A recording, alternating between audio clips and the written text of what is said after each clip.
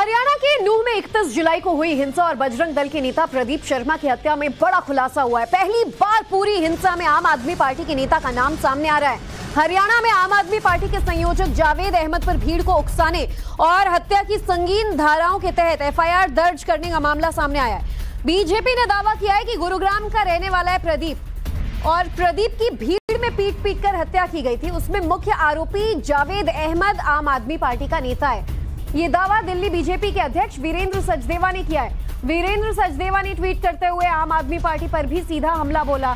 इतना ही नहीं, दिल्ली से सांसद प्रवेश सिंह वर्मा ने ट्वीट करते हुए जावेद अहमद को हरियाणा का ताहिर हुसैन बताया। आपको बता दें, सोना के प्रदीप बजरंग दल कार्यकर्ता थे और एफआईआर के मुताबिक घटना वाले दिन वो अपनी गाड़ी से लौट रहे थे।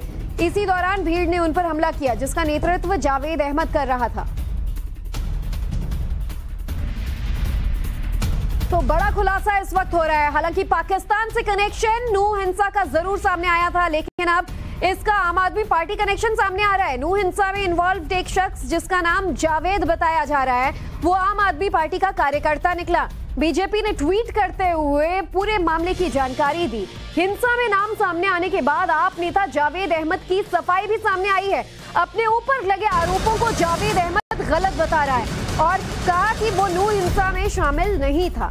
बीजेपी उन्हें बदनाम करने की साजिश रच रही है। साथ ही जावेद अहमद ने कहा कि वो किसी भी जाँच के लिए तैयार हैं। तो अब देखना होगा कि बीजेपी के आरोपों में आखिर कितना दम है क्योंकि वीरेंद्र सचदेवा का ये ट्वीट आपको दिखा रहे हैं कि किस तरीके से दिल्ली में ताहिर हुसैन, हरियाणा में जावेद अहमद की उन्होंने कंपेरिजन की और बड़ा आरोप लगाया।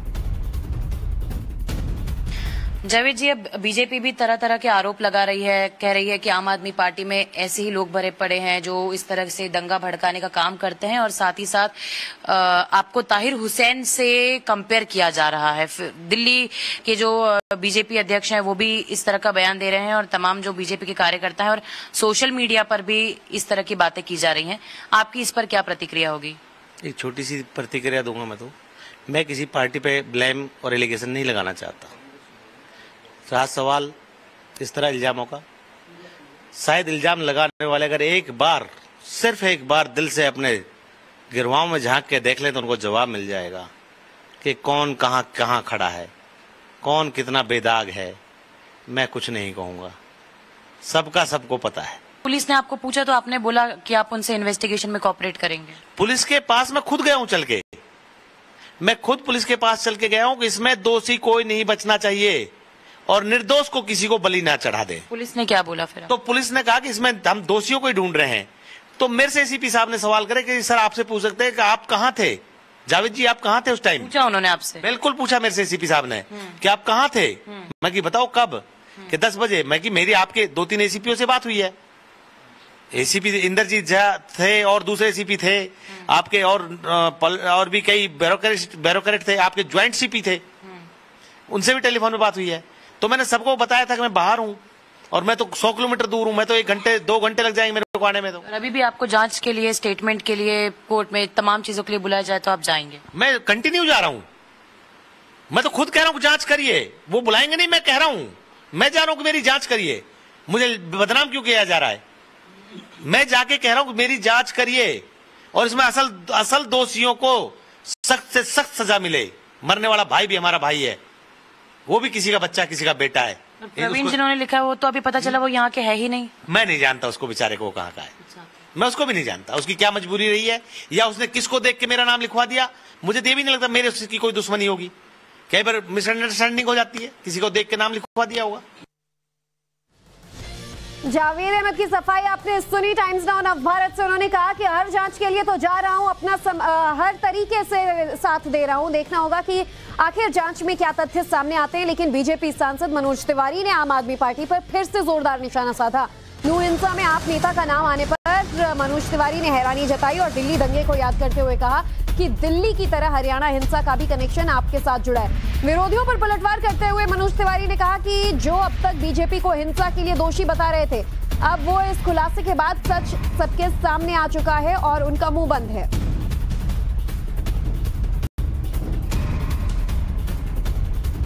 ऐसा ये हुआ है कि बजरंग दल के जो एक्टिविस्ट की जो हत्या हुई थी, उसमें आम आदमी पार्टी के एक नेता हैं नूह के, जो हरियाणा के हैं, और उनका नाम उस एफआईआर में है। कैसे देखते हैं इस चीज़ को? देखिए, वैसे तो नूह मेवात की जो घटना है, वो बहुत ही दुखद है। लेकिन उसमें जो रोज रोज नई नई जानकारियाँ आ रही हैं, वो हैरान करने वाली हैं। अब ये जो जैसे ही ये घटना घटी, मैं देख रहा था कि बहुत सारे लोग ये इल्ज़ाम लगा रहे थे कि ये चुनाव को दृष्टि में रख करके ऐसा ऐसा ऐसा सब आरोप लगा रहे थे और आरोप बीजेपी के ऊपर भी लग रहा था।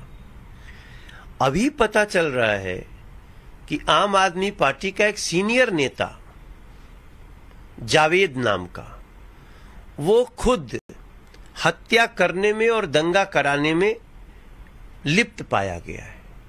आम आदमी पार्टी का नेता।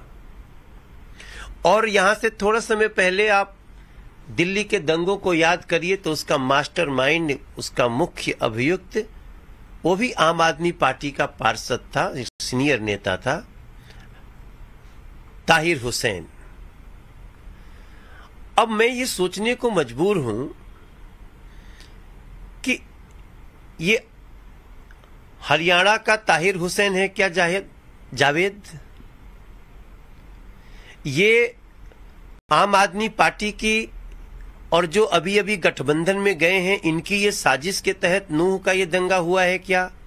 जो लोगों की हत्याएँ हुई हैं, मंदिरों पर मंदिर पर अटैक हुआ है, निहत्थे निर्दोष लोगों को मारा गया है। इस बीच आम आदमी पार्टी के हरियाणा प्रदेश अध्यक्ष सुशील गुप्ता ने आरोपी जावेद अहमद का बचाव किया है और सुशील गुप्ता का आरोप है कि हरियाणा सरकार जानबूझकर जावेद को निशाना बना रही है। गुप्ता का आरोप है कि जावेद के बढ़ते राजनीतिक कद से बीजेपी घबरा गई है और उनका कहना है कि हिंसा के वक्त जावेद मौके पर मौजूद नहीं था। तो जावेद के बढ़ते कद से बीजेपी को दिक्कत हो रही है। अब ये सफ़ाई आम आदमी पार्टी की तरफ़ से सामने आ रहा है और इसीलिए हिंसा के वक्त क्योंकि वहाँ पर जावेद थे नहीं तो आरोप लगाना बेबुनियाद है, दलीलें दी जा रही हैं। अब आपने जावेद को लपेटने की बात की। जावेद जो बीएसपी से चुनाव सोना से लड़ चुका, जिसको चालीस हज़ार वोट मिली थी, आज़ाद उम्मीदवार के तौर पे पचास हज़ार वोट मिली, आप उसको अपने रास्ते से हटा देना चाहते हैं। क्यों? क्यों ऐसा हरियाणा का मुख्यमंत्री चाहता मैं आपको बताना चाहूँगा? जावेद का नाम जो एफआईआर में लिखा है, इकतीस तारीख को रात को 10 बजे, किसी व्यक्ति ने उसको सोना के अंदर दंगों का करते हुए देखा। परंतु जावेद का कहना है कि जावेद साढ़े छह बजे सोना से निकल गए थे और अपने गाँव खानपुर गए, वहाँ से करीब 10 किलोमीटर है और खानपुर से पुनाना के लिए निकले सात बजे, जो वहाँ से लगभग उसके रिश्तेदार का घर 100 किलोमीटर है। रेवासन टोल पर आठ बज के मिनट पर पहुँचे। सारे बॉम्बे हाईवे की टोल्स के ऊपर उनकी सीसीटीवी फुटेज